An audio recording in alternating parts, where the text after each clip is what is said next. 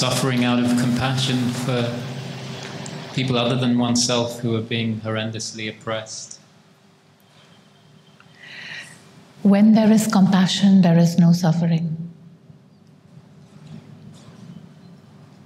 When the ego is at play, then there is suffering. So, the idea, even that you suffer in compassion for the oppressed.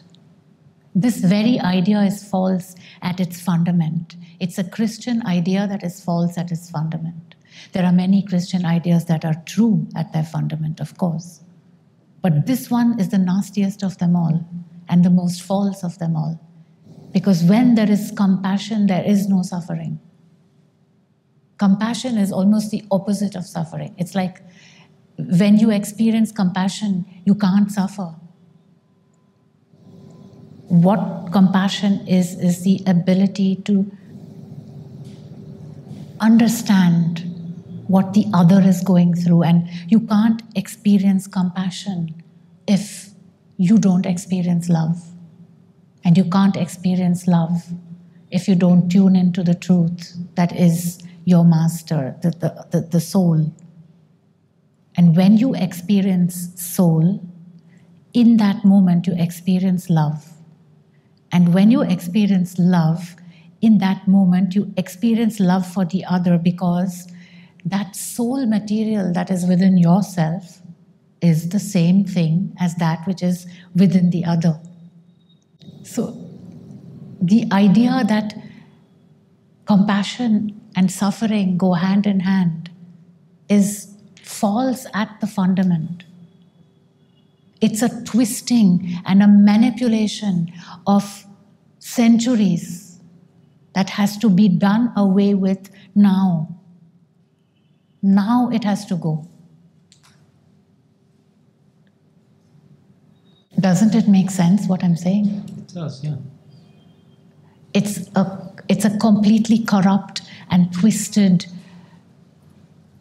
understanding of giving and loving. It's the opposite that actually happens. So you as a as a someone who's grown up with these concepts, maybe not with these beliefs, but at least with the concepts, you are, you are damned in a way unless you break through that prison. You're a sinner, so you can't turn inward because if you turn inward, what you meet is a sinner. When you look outward for an ideal that you can emulate, you see a man bleeding on a cross suffering in such a way that if you want to do something for humankind, you can never match up to him. So there also you come against a wall. Where are you supposed to turn then? So where you turn is to the ego, because the ego provides you with the suffering that you need to feel as if you are compassionate and loving. It's a twisted thing. It has to untwist. And the untwisting is where you stand up one day and you say,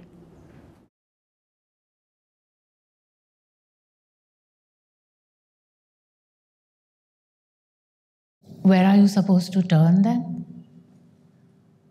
So, where you turn is to the ego, because the ego provides you with the suffering that you need to feel as if you are compassionate and loving.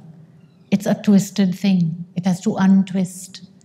And the untwisting is where you stand up one day and you say, No, no, not any of that anymore. The truth is the truth is the truth. And I'm not a sinner.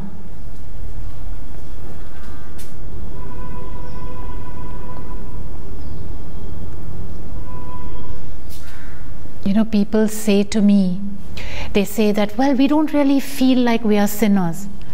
But this is a genetic inheritance of a thousand five hundred years or even more.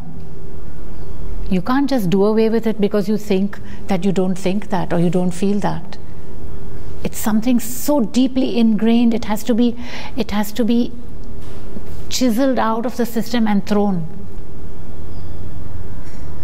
Where you start to feel yourself again. That this self is the truth and that it's not a sinner that needs to be redeemed by someone suffering on a cross, crucified. One has to go inside and take this dirt out and throw it out forever.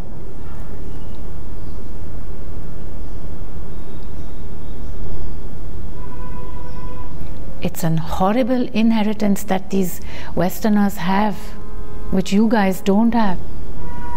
You should be grateful that you don't have to deal with what they have to deal with. That battle that they have is just that much more horrible. I mean, you have Krishna, you know, you have Hanuman, you have Shiva who's there with his peace pipe, with love in the air, with all the gods. And I mean, it's just something else. They have an inheritance, a legacy they have to deal with, which is to be dealt with now, not in 10 years and in 100 years. It has to be done away with.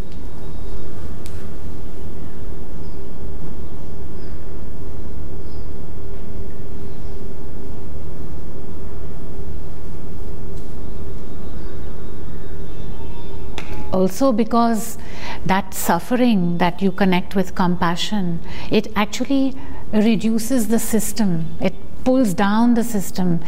Whereas compassion is something that moves outward. It's in it's in giving. And that suffering compassion is an egoistic feel about oneself being being a, a sort of a living in a way like the ideal who suffered.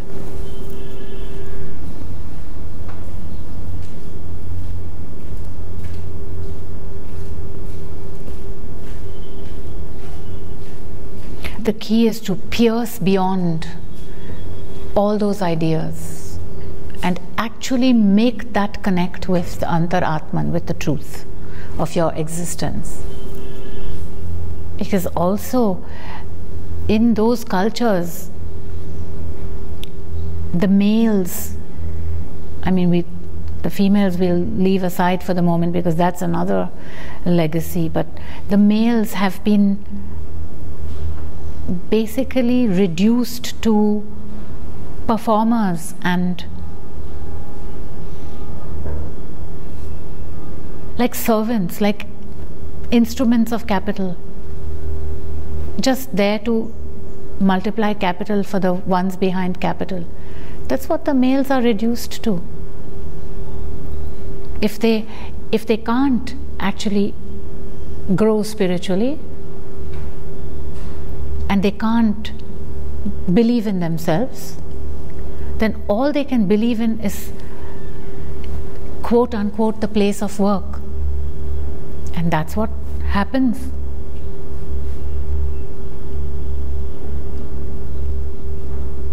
In this path of self realization, you battle those inheritances and you do away with them. You pick them out and throw them in the garbage now. So, it's very important to make that step and to know that it is the ego which causes suffering. So, when you embrace suffering, you are embracing the ego. And you are taught to embrace the ego because that makes you an able servant of those who want to multiply their wealth. And there's nothing more to it than this, actually. It's not much more complex.